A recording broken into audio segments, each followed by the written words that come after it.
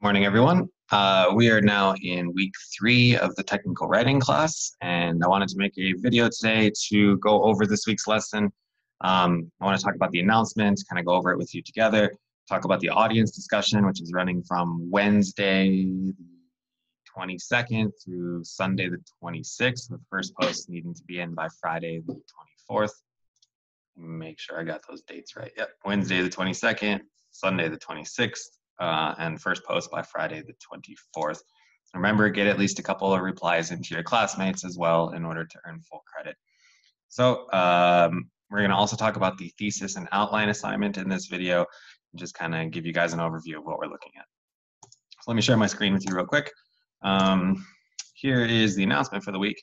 Um, as I said, uh, we have two main goals this week. The first is the um, audience discussion. The audience discussion is going to be running from Wednesday the 22nd, like I said, through Sunday the 26th. Um, let me show you exactly what this discussion is all about. Um,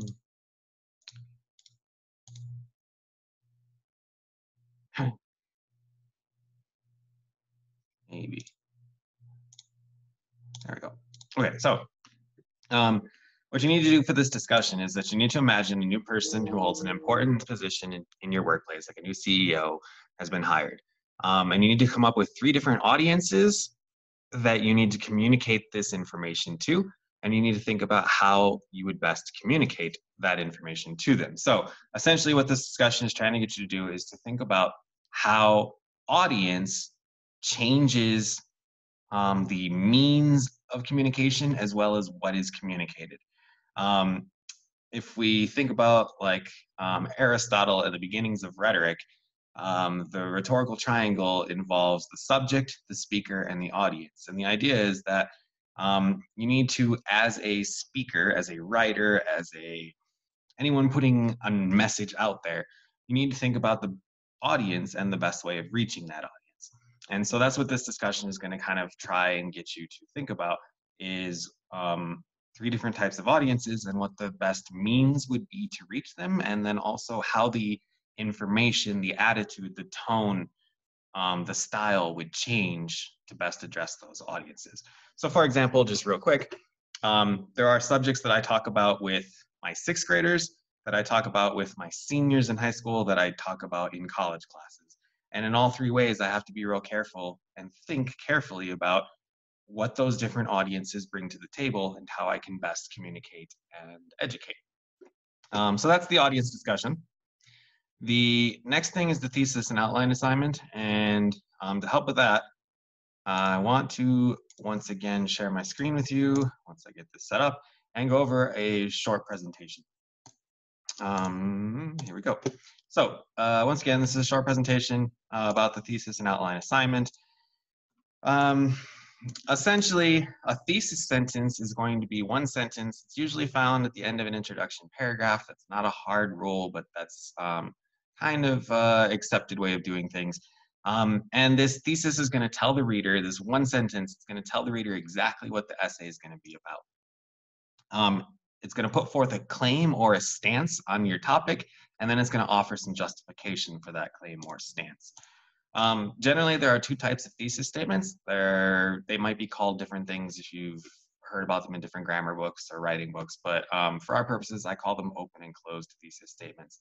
Um, an open thesis statement just gives the general support or justification for the claim, but it doesn't go in any, any specifics.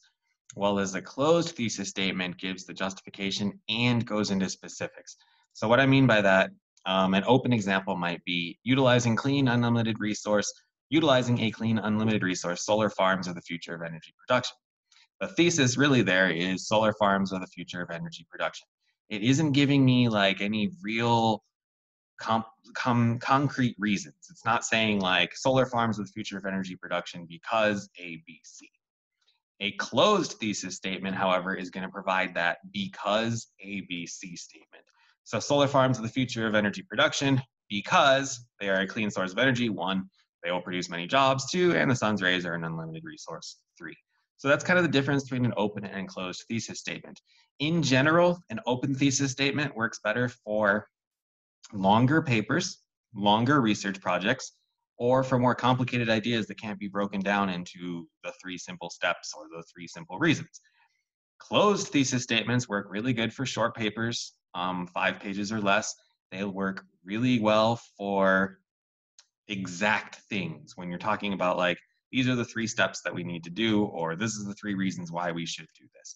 Um, because it keeps it focused, it keeps it tight.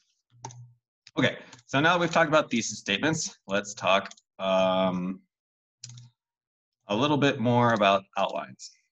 Essentially, an outline is the skeleton system for your essay. It is the organizational tool by which writers plan and game plan their projects. Um, as a teacher, it's super easy to tell when someone didn't write an essay or didn't write an outline for an essay because ideas don't tend to follow in a logical format. Um, similar ideas aren't connected. Basically, our brains do not think in perfect outline form or perfect chronological order, or really, our brains don't think in much of any order at all. Um, ideas just kind of pop in and out of our heads. We'll be thinking about one thing and then something else will come. Um, if you've ever tried to write like a long paper without an outline, you'll know that by the end, your conclusion has almost nothing to do with what your intro was um, because you weren't, you didn't have a game plan. So outlines are pretty much the game plan. Um, they can seem like busy work for sure. I totally get that.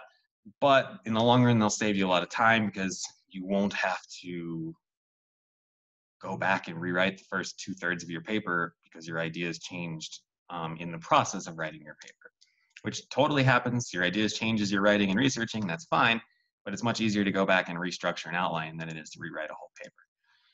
So, outline form. In general, the best and most relied upon outline format that is used in colleges throughout the United States for speech classes, history classes, English classes, science classes, every class that I ever encountered in my life has actually wanted four level outlines. Four level outlines are a type of outline form that goes from general to specific. Um, so let me show you what I mean here. Um, this is a four level outline example. It starts out with the Roman numeral one, and those are for like your major sections, meaning introduction, body, conclusion.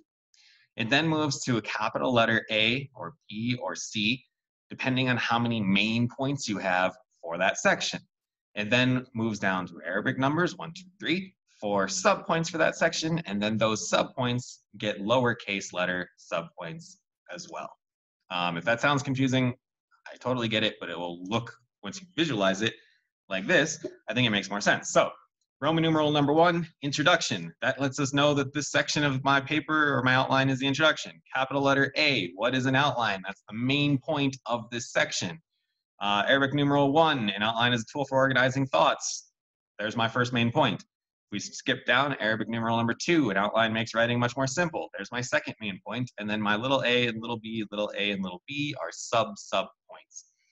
Um, this is, again, like I said, sort of a standard method of doing an outline. Um, your outline will have an introduction, a body, and conclusion. Those are your Roman numeral one, Roman numeral two, Roman numeral three. Um, I can get back to where I was on this presentation. Okay, um, your introduction should include some kind of introductory device, an attention getter, something to spark your reader's interest. It should also include your thesis statement. So here's an example of um, an introduction using the idea of solar farms. Uh, here's my Roman numeral one, introduction. My first main point, scientists estimate that civilization will soon reach a point known as peak oil. My first, uh, my subpoint for that, one, peak oil is when the Earth's production of precious resources will no longer meet our demands. And then our sub-sub points, second main idea, sub-sub points, and then thesis, right? Um, so the idea is that you're just kind of taking each section, breaking it down into the main things you want to talk about, and then breaking those main things down into subpoints or sub-subpoints. Um, and you will continue that throughout the body, which will look something like this. Again, Roman numeral two. Um, here, actually, this should say body. I kind of messed this up. This should say should say body. This would then be A. Um, bad example on my part, but you see what I'm trying to get at. Um, Okay, so that's the thesis and outline assignment.